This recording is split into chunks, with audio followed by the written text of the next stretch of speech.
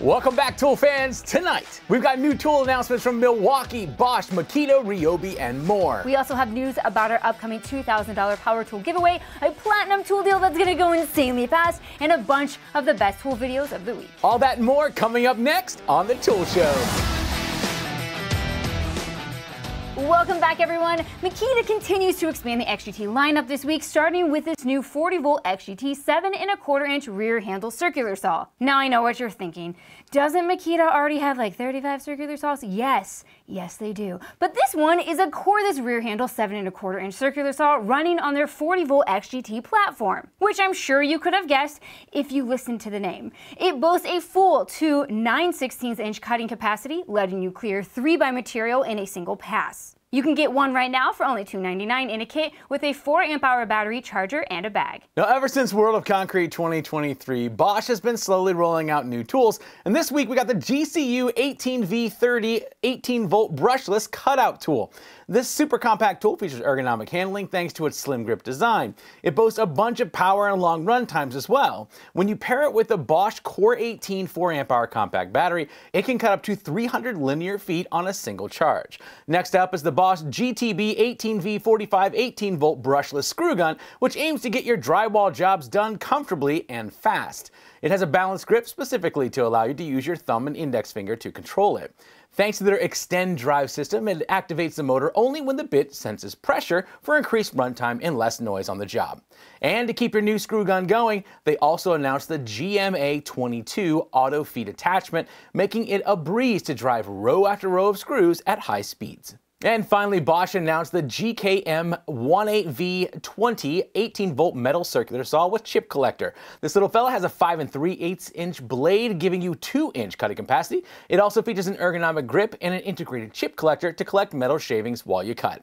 Now, we still don't have final pricing or availability, but when we do, we'll tell you first. Milwaukee keeps sneaking new tools onto our list, this week adding an all-new M18 brushless 1-inch SDS Plus D-handle rotary hammer, model 2613. It drills 3 8 inch by 2 inch holes faster than a quarter D-handle rotary hammer. They didn't say which one, but I'm guessing it's faster than this one. Oh yeah. It boasts 1.95 foot-pounds of impact energy, 1270 RPM, and 4580 BPM, but comes in at a feathery 6.9 pounds with a 5 amp hour battery not bad. And the D handle actually makes sense for this tool because you're often using it to drill down, not like a jigsaw where it would only make sense to a Jim Davis. Still don't get that. The drill can finish up to 103 8 inch by 2 inch holes on a single 5 amp hour battery and it can be paired with Milwaukee's M12 Hammer Vac for onboard OSHA Table 1 compliance. You can pick one up for yourself this April for $330. Milwaukee also launched a new M18 Fuel 5 CFM vacuum pump for the evacuation stage of HVAC repairs and installs. It's designed with an industry-first manifold mode to maximize speed and runtime, providing up to 90 minutes per charge. For evacuations utilizing direct connections and large half-inch hoses,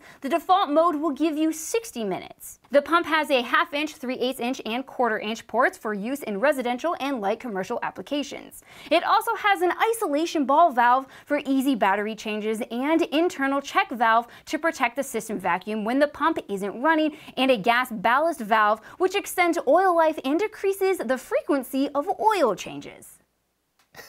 You have no idea what any of that means, do you? No. Do you? I do not. Okay. Hey, Eric Ani, would you do me a favor and come on the show to explain this to me next week? Pretty please, you have my number. For those of you who already understand what this tool is for and why it's so great, well, you can get it in June for $849.99. No idea if that's a good deal. Ryobi keeps adding new tools to their 18 volt One Plus platform because 280 obviously isn't enough. And this week they added a Bluetooth speaker with more than a few tricks up its sleeve. This is the Ryobi 18 volt One Plus Verse clamp speaker. It's obviously compact and that clamp will let you clip it anywhere you want music. But the real magic happens when you turn it on and then sync it to another one. And then another. You can actually sync up to 100 of these speakers together to cover the entire job site or the biggest beach party you've ever seen. They've somehow managed to get the Bluetooth connection up to 250 feet between the primary speaker and your streaming device. You can then chain speakers up to 150 feet apart. Volume can be adjusted independently or synchronized. It has a pivoting head so you can point the music towards the party, and with a 4 amp hour battery, each one will keep the party pumping for up to 32 hours. Super cool idea. I want like 10 of these in the woods behind my house where I can set up a haunted hayride this Halloween. That'll be fun. These speakers will be available in May for $59 for a single speaker, $99 for a pair, or in a kit with one speaker and a one and a half amp hour battery for $99. We are only three days away. This Monday on March 6th, we're going live at 8 p.m. Eastern Standard Time to randomly choose a channel member who will get to choose one of our three remaining mystery shelves, each loaded with over $2,000 in pro tools and pro accessories from Spyder. We still have a Milwaukee shelf, we have a Flex shelf, and we have a DeWalt shelf as well. But no one knows what's actually on them, and the winner will have to choose blindly live. So evil. and while only our channel members qualify for that prize, anyone within the lower 48 can win one of several prizes that we give away in the live chat. Now we actually wrap each prize and then unwrap them live for each winner. It's a ton of fun and we hope that you join us. So set a reminder for 8 p.m. Eastern Standard Time for this Monday, March 6th and join us right here on Belts and Boxes. Now last week we had the good folks at Motion Heat reach out to us and ask if we'd like to give one of you guys one of their $200 heated vests. Obviously we said yes. Yes, of course we did. So after a few days, we randomly chose a comment that belonged to Upcountry Junk.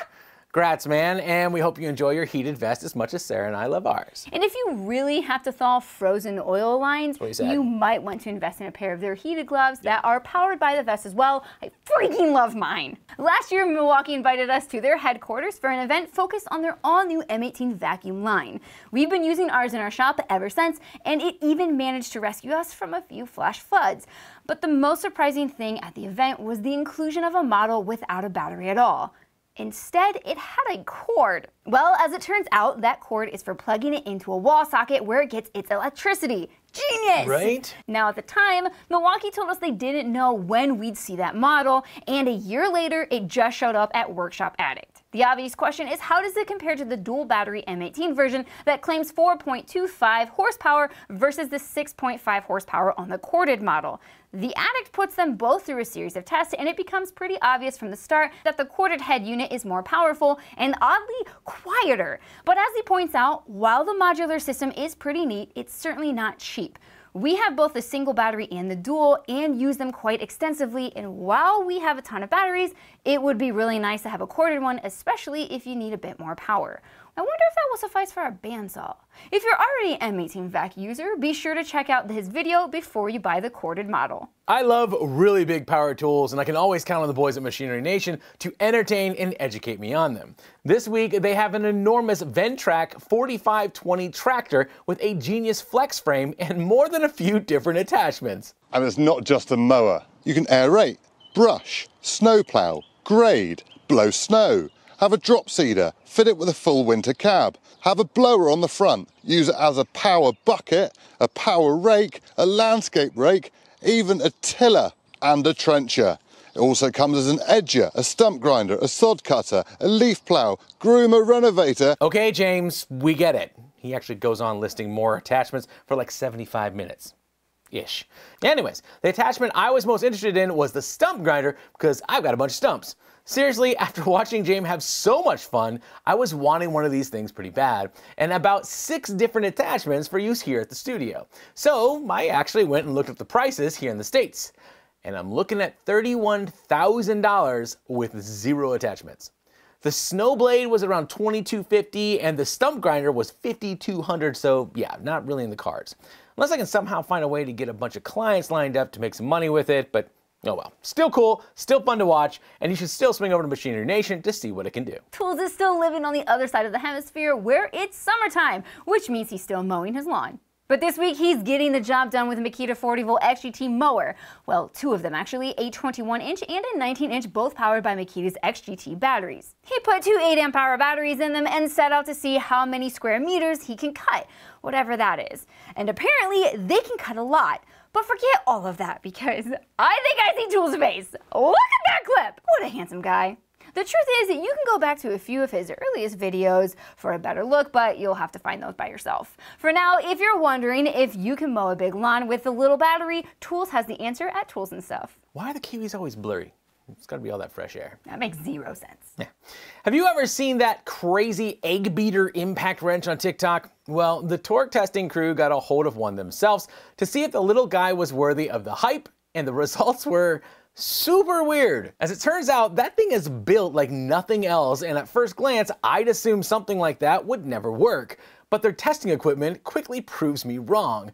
That thing could beat so many eggs. So many! To not only see what it can do, but what exactly it does do in slow motion no less, head over to Torque Test channel. Mike over at Projects for All got an early sample of SKIL's yet to be released PowerCore 20 XP circular saw kit. He decided to not only review each feature and walk you through blade installation, but he figured the only way to test that included 4 amp hour battery was to run it through a 2x12 until it died. And he did. He made 270 cuts on one battery with the framing blade included with the kit, and he never once had any overheating. The saw just did the job. He also loved the ergonomics and the price. Now, unfortunately, you can't get one until March 15th, but you can still watch Mike play with his over at Projects for All. So thanks to both Milwaukee and Ryobi, recently there have been an abundance of track saw reviews on YouTube. And while each one's slightly different, it's their prices that are pretty united in their absurdity. So Matt decided to look for a low-cost alternative, and he may have just found it. That's the Milescraft Traxsaw Guide System, which lets you use your lowly normal circular saw on a track. Now it won't turn it into a plunge saw or give you fancy bevel cuts, but it's still built well and delivers the straight cuts that it promises. To see if it would help you avoid the prices of a true track saw, head over to 731 Woodworks. We don't cover a lot of hand tools on the tool show, but that's just because Rob's lazy. True story. But that doesn't mean that we don't watch the Last Best Tool every week. And this time he started a very interesting discussion about pliers, their shape, and their future. And if that sounds fun, then this video is absolutely for you. If not, suit yourself, young cultured swine. Something else we rarely cover is fine woodworking, but I know full well that we have a bunch of fine woodworkers in the audience, so listen up. Ben Strano over at the Fine Woodworking YouTube channel has been posting fine woodworking news segments on the Fine Woodworking website, but last week he started sharing them on YouTube as well. Now his focus, as he puts it, are cool tools and woodworking news stories that he finds throughout the week while browsing the web. Apparently, if you ever leave YouTube, you can still, quote, browse the web, but I really don't want you guys doing that. It's scary out there.